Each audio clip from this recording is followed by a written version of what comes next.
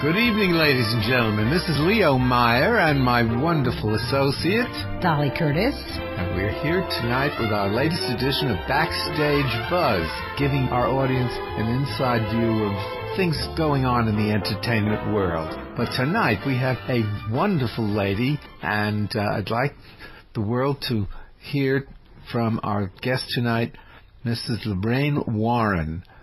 Mrs. Warren is a very famous paranormal investigator. And Lorraine, it's wonderful to be here tonight and chat with you. I love the way you two met. Tell everybody how you met recently. Well, was that a, a, lecture in Beardsley Park? It was a lecture on paranormal activity. And it uh, was in October, I'm sure, because Lorraine's so much right around Halloween. Exactly. Right around October. She's always That's every right. night somewhere. And Lorraine sort of picked me out of the audience, came over and said, "The aura is getting in my way." Coming out of you, that aura, which yeah. I'm sure you give off. Yeah, he has a beautiful. Aura. I'm sure because yeah. he's so out yeah, he's, got, he's going in so many directions. He is. And it's beautiful. Yeah. And so you well, saw it right yes. away. They, they, they, it said that people who are really true psychics really do emanate, emanate, have, have, but no, they can see it. They see the colors. Is it aura. colors, Lorraine? Yes, it's colors. It's not so much the colors as the clarity of the colors that is important, but it would be the clarity that would define. I couldn't tell he was a very beautiful person. Hmm, so you went over and talked to him. So anyhow, he just couldn't get over that. Well, uh, he's well, very I, interested. Well, it was quite quite informal. It was quite spontaneous that I came out with it in front of everybody. We we chatted after yes, and that's how we got together for tonight. Right. right. Leo called me and said I met Lorraine Warren. I said I've attended many of her wonderful lectures. I'm convinced that any entertainer or anyone in, in the world of entertainment is communicating on an extrasensory level. Mm-hmm. And I think there are certain aspects of your work that are very pertinent to being a, a live en- entertainer, a singer, or an actor. Mm-hmm. It's all in communication. It's, it's like circus trainers who work with animals. There's a communication that we don't, we can't oh, touch, yeah. but it's there. Oh yeah, even my communication with my pet. It's a very soothing type of thing to have this many pets and this much diversity. I have three roosters and a hen. I have twin roosters. And then I have Einstein and Miss Hannah. They're like husband and wife. I rescued Einstein and Hannah just showed up and she sat on an egg that he fertilized and they had twin roosters. And as far as we know, and as far as I've been told, they are the only twin roosters that are known. Really? Yes. So are they outside in the summer and come in in the winter, or they are? They out? have to be in. They have to be in in the winter uh, because of their cones. And the roosters, they don't have, um, they don't have mate. They don't have females with them, so there's no way to keep them warm. So they have to come in for the winter time.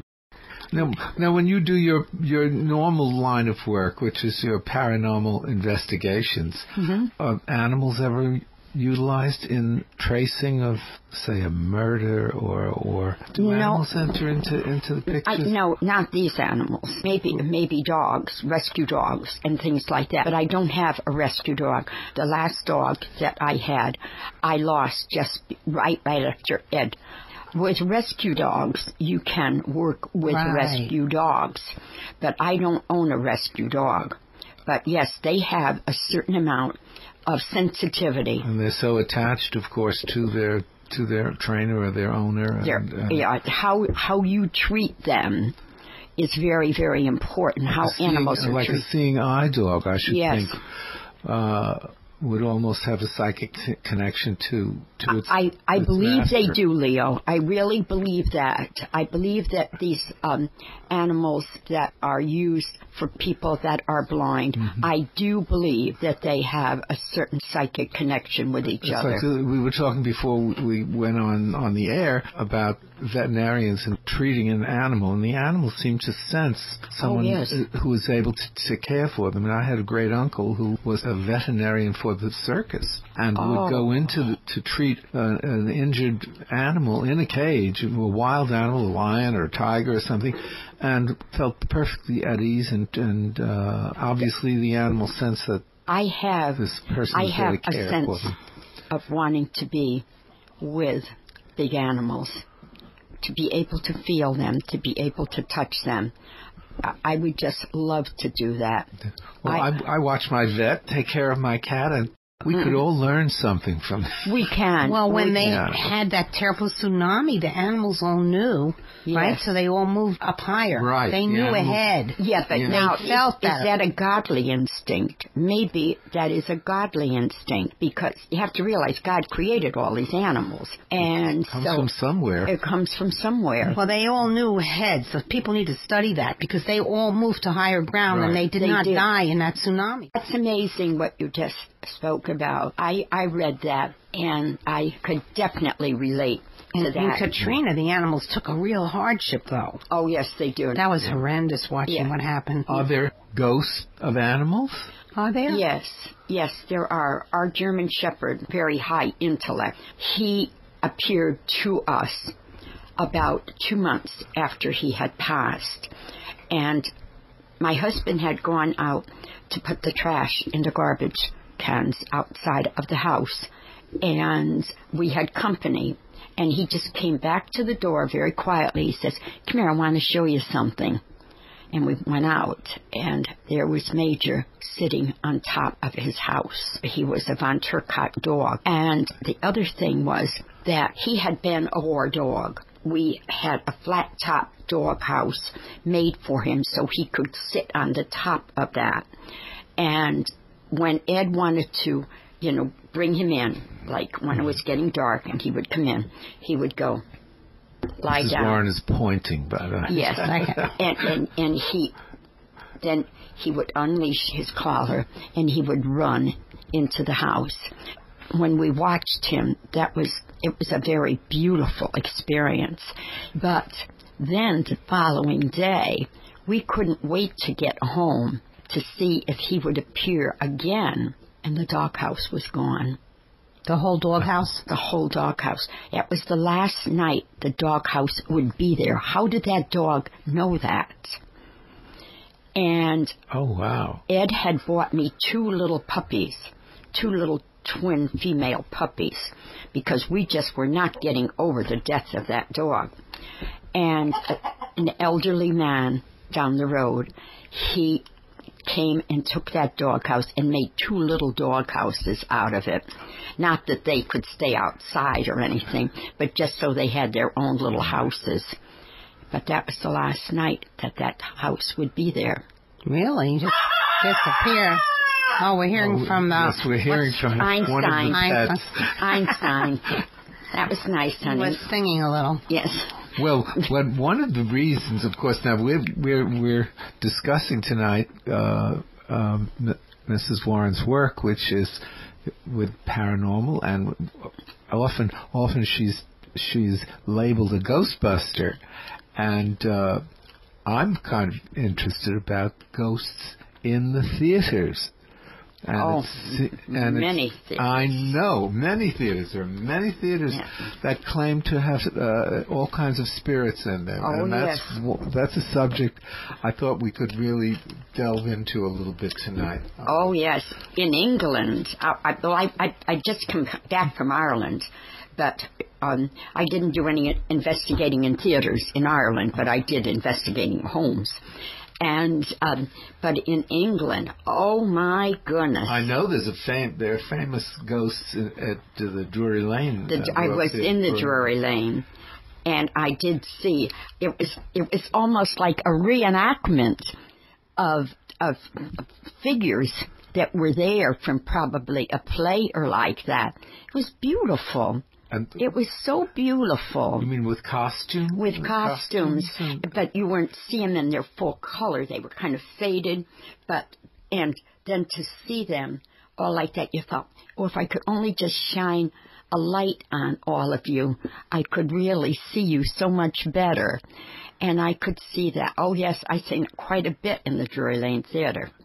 A number of years Have ago. you been to the Sterling Theater in Derby where they, uh, my friend Rich DiCarlo says he, you know, he has the key. It's the Opera House. Uh, oh, I'm Sterling sorry. I would Opera like Sterling to Opera. get in that opera house. Oh, we'd be happy to. He invited us to come today and do the interview there, but we thought we would like to do it. As we thought we would try to go over. If you would like to, we could arrange that. It's I uh, yeah, I would like to because up in um, not Winsted. Oh my God, the Opera House, I originally know that in Thomaston. Thomaston. Oh, yes, there's I- co- they claim there's a there was a man. Rose Yes, a ghost there. and yes. and my goodness, I'm I'm speaking. I'm speaking at this time, and I was kind of ending what I was talking about. And one of these men who had brought me in came up with this big bouquet of roses. And I looked up, and here's this man up in the back, and he waved in that theater. Do they know who who the man was? The They did know. They did know who he was, and we were called back there um, to lecture, and not in that not in that particular place, but in another place there in Thomaston. We were called back, and uh, they had done so much research on it, and even told the name. I don't recall the name, but they told me the name of the man that I was able to, to, to see there, and he was kind of like um, a care care person there. You know, he had he had duties and responsibilities, and he still carries these responsibilities on in a way. Yeah, At the uh, uh, Opera House, the Sterling Opera House, supposedly there's a a woman uh, who is always seen s- seated in the same seat up in the balcony, uh, in- dressed in antique clothing, and the ghost. Oh, of how the- the beautiful. woman- Oh, yeah. this friend of ours, uh, he's photographed her. Oh, Not he know did. he he didn't know that he was photographing her, but he s- saw some lights uh, moving or some orbs, and then he didn't tell anybody for two years because he thought people would think he was, you know, foolish. And then this year, somebody came there to do a, net, a television show. Right, there was an Italian tenor. Oh, I saw that. It was an Uh, advertise, a commercial. Named Roberto La- Larussi, who stopped by the Opera House to film a promotional video Saw that. for the hospital. Oh wow! And he took some pictures, and the same image of the woman show, showed up in, in the the person, the the crew that came to film that commercial with that opera Mm-hmm. singer, it's a Connecticut resident to the opera. They had the same image of the same woman Right, on same. their. how beautiful. So they showed it to Rich DiCarlo, and then he realized that was the same images that he had on his pictures from two years ago. Then oh he- my! Yeah, very oh, wow. interesting. That is very well, interesting. Uh, Liza Minnelli claims to have, have seen uh, the ghost of Judy Garland at the Palace Theater in New York. Where Mm-hmm. Yes, they I built read that. they built a special door that Judy had to use to get into the through the theater her act years back, and uh, Minnelli claims to have seen Hmm. Garland's image standing. Now, Leo, standing what right about the fact that in the theater they always leave a light on? That's one of the reasons it's called the ghost light. Yeah, Oh. yeah. Um, I, I, at times, w- we suggest that to people in hauntings. Leave Have a a, light on. a single yes, light. And that's to keep the, the ghost can see, or is that no, so you no, can see? No, that's that's so. So you don't fall into the orchestra. That's what I pit. mean. Is that what it's for? well, well, in in the case of the from the phenomena standpoint, you know, very seldom will they show themselves in a place that's illuminated with some sort of light, artificial or otherwise. The ghost of David Belasco has been seen in the Belasco Theater, and and he he was seen many times supposedly as dressed in a sort of a clergy outfit. He always wore a, a high white collar. And a, Mm-hmm. Did he and play black- that part a lot? No, no, but he he always dressed like a clergyman. There was a famous ghost in the New Amsterdam Theater, and that theater, of course, was was heavily renovated. But originally, there was a rooftop theater in that in that building above the New Amsterdam Theater was a famous was a rooftop? theater, and the fire department uh, insisted that it be no longer used, so it was it was abandoned because the escape route was not adequate, Mm-hmm. and so it used a little bit as a rehearsal hall, and then for years it wasn't used at all.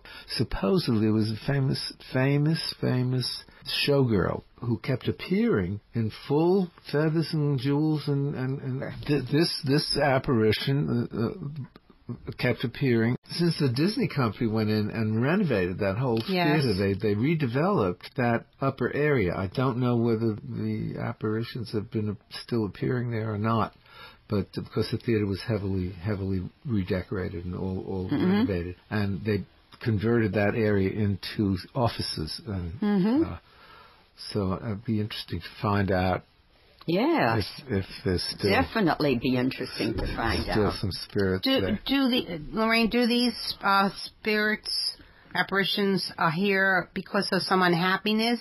Um, like with the white lady in in the East, and you always say she's Unfinished business. business. Is that true? Then with Yes. as Leo's talking about these ghosts in the theaters, is it some unhappy? Well, it, that was a happy time for them. And so, yes, And- they're reliving that. They're reliving these things over and over again. But is it true that many the ghosts supposedly are are the result of a violent death? Well, it, it, it, that also is true. Yes, but not it, every spirit that shows itself is, had not met a violent death. Uh huh. No, definitely not. Didn't reach violent death. But um, I mean, my own husband came back to me, and um, that was that was very beautiful. I normally don't talk about that, but he did, and um, it was it was wonderful for me. So people have to be more sensitive to it because maybe other uh, spirits try to reach people, but they're not sensitive to no, it, so they, don't. can't. No, they can't perceive it. Mhm. You know, no, that's very very true. Yes. So they don't know what's happening, people, because they're not open to it or they're not sensitive They're not it. sensitive to it or open to it. I mean, it might prove too frightening to them, so they don't want to acknowledge anything being there. So, like with Ed, you you knew. I mean, because they may not come back in the form or that they No. were when you last saw them, right? No, well, I'll, I'll explain one time that that he did this to me. Um, I was sitting right out here on my back deck, and it was the fall of the year. It was soon after he had passed, and I was looking out past the gazebo. There's a big gazebo out there, and then there's the drop off, and the water below is part of the reservoir, and then that kind of a low mountain that's behind that. And I could see the leaves changing.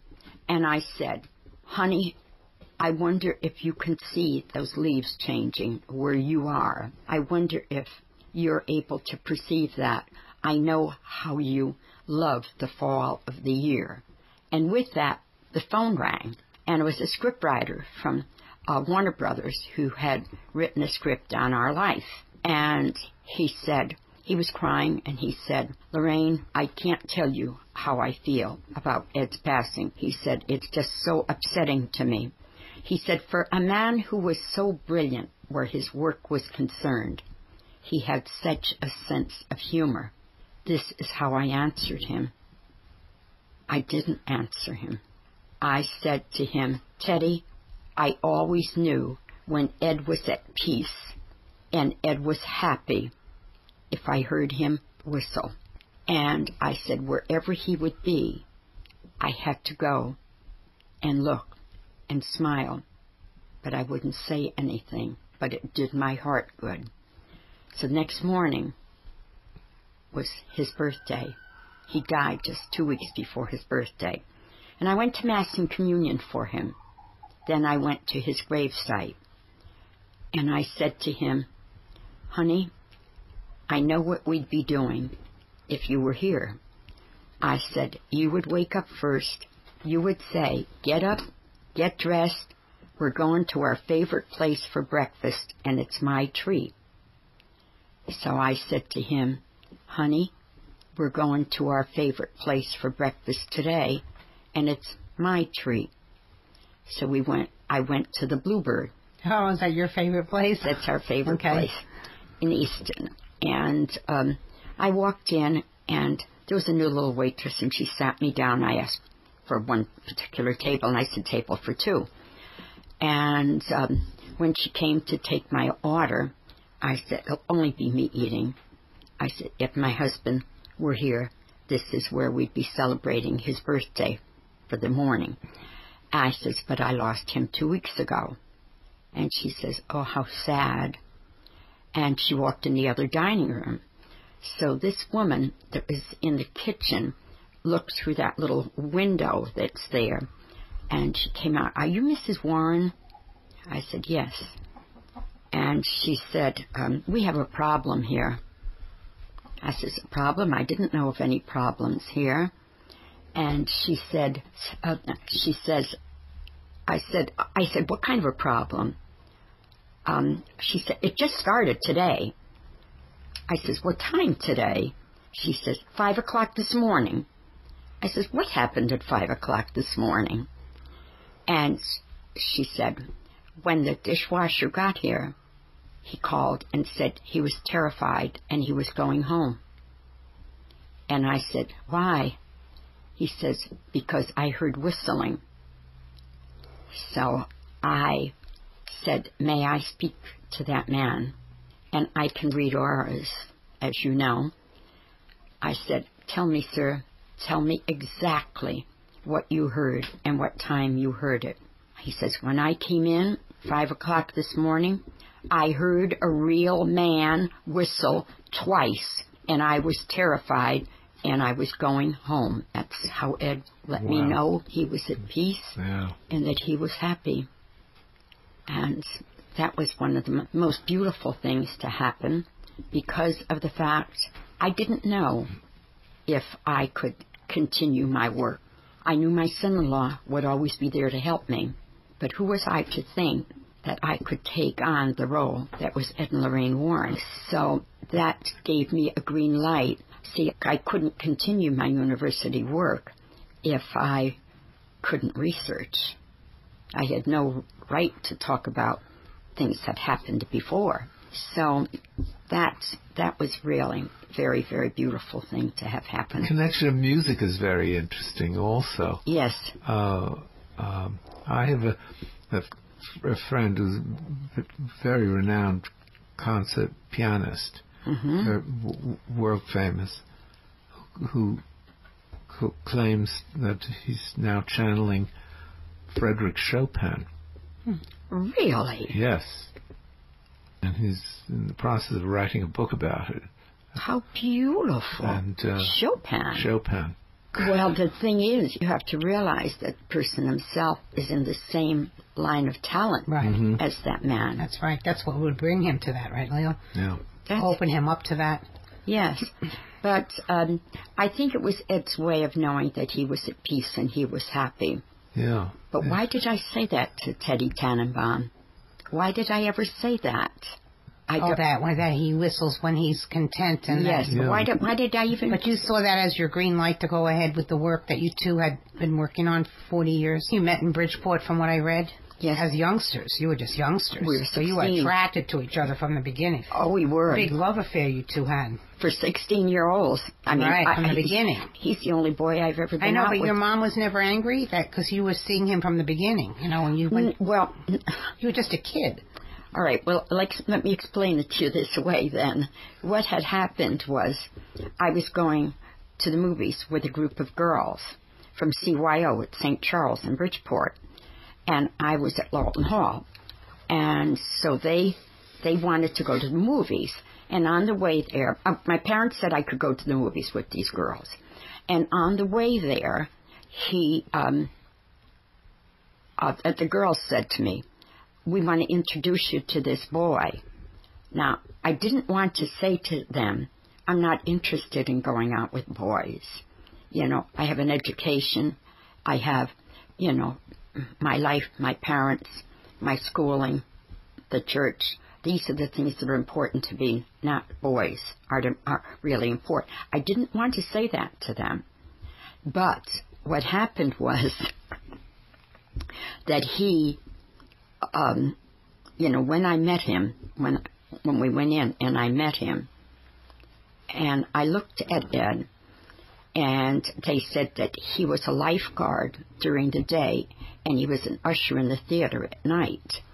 And I looked at him from the polished shoes to the crease in his pants to the white shirt, and I thought, what a well groomed young man you are. That is how I perceived him. Hmm, that's interesting. You were attracted to that because I know you always yourself are always so beautifully dressed, and I've seen you so many times in the little schoolhouse in Monroe, and you're always even in the when you're shopping, you always have that you know special. Your hair has always got a bow in it and Oh, beautiful you. outfit. So you were attracted to that so when you were 16 Yes, and him, Exactly. and you married him shortly afterwards. Oh what I no. I, I married him. uh, He became a war hero when his ship went down, and we were married on survivor's leave. But you were only 17 then. 18. Oh, eight? We, we were Oh, 18 years old by that. So most of our whole courtship was by mail. And the summer, the summer that, that we went together before he, see, I met him in June and he went in the military in September. He went on his 17th birthday into the, the Navy. He got his education when he came out. And um, so, anyway, when this all happened, you know, we corresponded, but all during that summer, everything we did was with my parents and my brother and sister. Picnics and rides and Savin Rock and all those things. We're all ten- together. We were all together. I, I know one night, one day, he had said to my parents, could um, I take Lorraine to the movies? And my father said, yes, but you can't drive her there. You're going to have to walk. Well, that was a different era, wasn't it, though? So then you were married for how many years? You were married from the time you were 18? 16, 62 and a half years. Yeah, I know. That's quite a romance, quite a love story. Yours was. Oh, yeah. We, Because I remember when you were taking care of him hmm the five years prior to his passing. hmm And you were taught, you were doing your lectures the whole time. Yes. Yes, definitely. Yes. Well, if someone has never heard one of Lorraine's lectures, they need to go. L- Lorraine, tell me when you first became aware of these psychic abilities, and were you a youngster at that time, or was Nine this- years old Oh, in good. grammar school at Lauralton Hall. And I began seeing lights around people. And Didn't it frighten you? No. You know, I grew up in such a secure, loving way. I never experienced fright at a young age like that. I can never say I was frightened by it. And when I could see these lights around people, I thought everyone could see these lights. I thought everybody could see that. One day, leaving my French teacher, I said, Sister, your lights are so much brighter than Mother Superior's. That didn't fly. That definitely did not fly, and I was punished for that. Now, trying to share that with my parents and my brother and sister, it seemed like it was painful that they didn't have the answer for me. And Mama would talk about the Irish people and things of that nature and how they might relate, but it wasn't that. When I could see that, how that was going, that nobody understood this, that everybody wasn't seeing what I was seeing, then I suppressed it, but it didn't go away. I began to see it around, around everything God created. I seen it around trees, around flowers, around animals, around birds, everything He created. And I thought, how beautiful. I wonder what that means. I really did not know what that meant until I was at UCLA. And when I was at UCLA and working with Dr. Thelma Moss and Dr. Johnson regarding Kirlian photography, the Russian invented camera that photographs the human aura around everything God created, that I really, truthfully felt vindicated. But I'll tell you a little more about my husband and our relationship. He was going to be walking home with us. I could see that that was coming into play. He knew these other girls. He knew all of them. But we were coming out of the theater, and there was a, there was an air raid this is wartime. This is 43. And um, so we had to wait for an all clear.